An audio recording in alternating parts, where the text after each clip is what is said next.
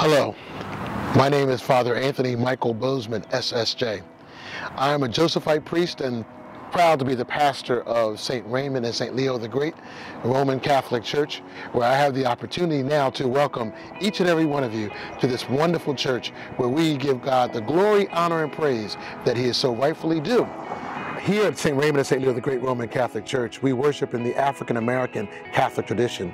This, of course, is a not a monolithic style of worship where we go old school Catholic from the Divine Mercy Chaplet to the Exposition of the Blessed Sacrament and all the way to the new school African American style of worship where we give God glory, honor, and praise using all parts of our body, all parts of our culture, and all parts of our experience to let people know that God is alive in our hearts and our minds and our souls so that we can be saying the rosary or we could be clapping and saying amen, hallelujah, thank you, Jesus. It is a great opportunity for anyone who wants to worship in this great experience, in this great moment, on a mountaintop where you know great things happen. Once again, I have the opportunity to welcome each and every one of you to this great, great church called St. Raymond and St. Leo the Great, where I, Father Anthony Michael Bozeman, as some say, like to bring a little Philly to Gentilly. God bless you all and have a great worship experience.